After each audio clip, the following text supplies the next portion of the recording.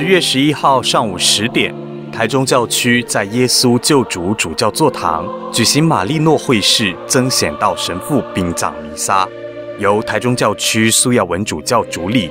荣休刘丹贵主教、玛丽诺会安德森神父、阮德润神父、清水天主堂主任司铎江佑忠神父等近三十位神长共祭。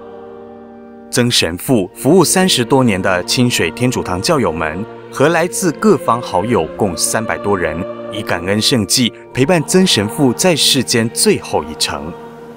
Dear friends in Jesus Christ, today we are gathered here. 弥撒前，苏主教也透过直播向曾神父在美国的家人及玛丽诺会美国总会表达感谢与悼念心意。Father Eugene Morris. 苏耀文主教在弥撒讲道中表示：“那我们的曾显道神父，我觉得他中文的名字翻译的很好哈，显道哈，显示这个真道啊，那这个道啊就是耶稣基督哈，耶稣基督就是这个道路、真理及生命，那这个道啊，也就是那个圣言哈，天主的话啊，在耶稣基督身上所显现出来的天主的大爱慈悲啊。”所以，我们在这里啊，我们举行这台殡葬弥撒，我们也来追思啊，这个我们的曾显道神父，呃，九十一年在世的岁月啊，那他在我们台湾啊，将近六十四年之久啊。所以在马尼罗会的他们的呃修会的宗旨里面，就一句话哈，我们假设有机会。去马利诺会呃总院的墓园里面哈，他们每个的墓碑就写一句话哈：先寻求天主的国哈。那也显示出他们的使命的目的，就是寻求天主的国，把天主的国的恩宠生命啊带给他们天主托付给他们使命的人哈。这是他们一生的最主要的目的哈。那也是神父们。马尼诺会神父们秉持这个精神啊，所以把这个精神带到啊啊世界各地哈，他们的所服务的传教区，那我们真神父哈就来到了我们台湾哈，那他在呃一九五八年六月十四号进铎哈，进铎之后啊三个不到三个月的时间就派来台湾来做服传的工作哈，那据他的描述哈，我们的呃教区的这个。我们媒体节目访问他，他说他他那时候的也不晓得台湾在哪里哈，那 台湾的地理环境、人文文化，他都不晓得哈，但是他就是听命，长上派遣他到哪里啊，他就是服从到到那里去啊，这是他的一个基本的精神哈。那我们看到他这个精神，不止在当初第一个派遣啊，后来来到台湾啊。啊，派到各各各个本堂，不管是到二林，不管在主教座堂，啊，不管是在田中，啊，不管是在清水等等沙啊等等的地方，他是用这种精神哈，服从的精神，服务的精神，然后愿意把这个天主的爱透过他神子的身份，啊，他说，啊，他的神父的使命，啊，就是完全的奉献哈，那一切都是天主的恩宠。啊，他相信天主召唤他就是一个恩宠啊！天主召唤他在天主的葡萄园里面，透过他神父的啊，他还讲到神父的主要的生活就是透过圣事的生命服务啊，把天主的救恩啊，天主的生命带给别人哈。二零一七年曾显道神父获颁荣誉国民身份证时，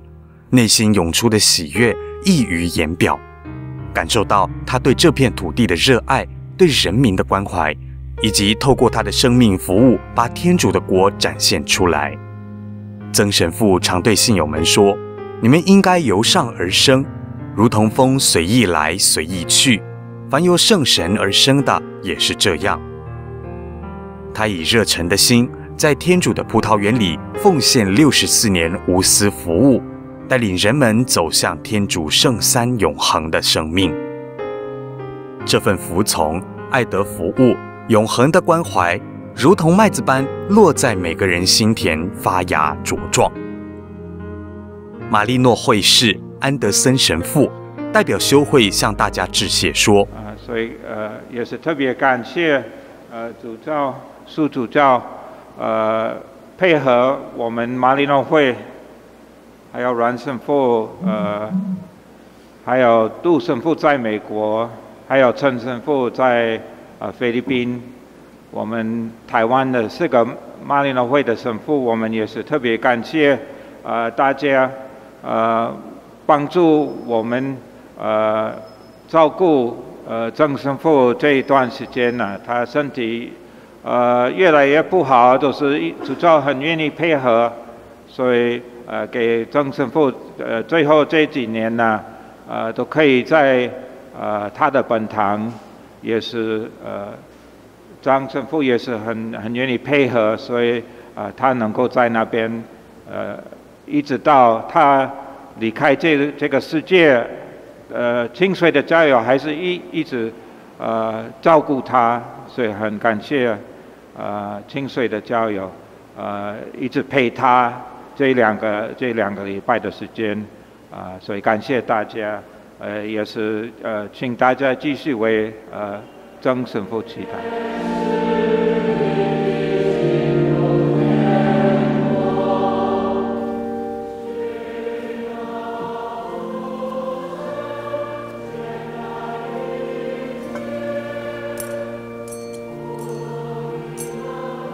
弥撒后，苏耀文主教向灵柩洒圣水、上香，带领信友行三鞠躬礼，表达最诚挚的感谢与深深的不舍。再鞠躬，三鞠躬，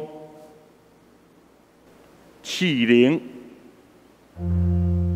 我们请神父引领真神父。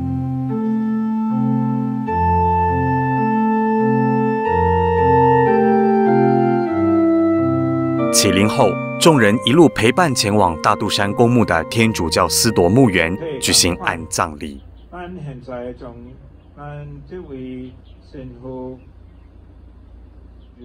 由玛丽诺会士安德森神父主持，在苏耀文主教、黄清富副主教等神长及四十多位信友的陪伴下，安神父祝福了墓穴，并与大家齐心恭念天主经。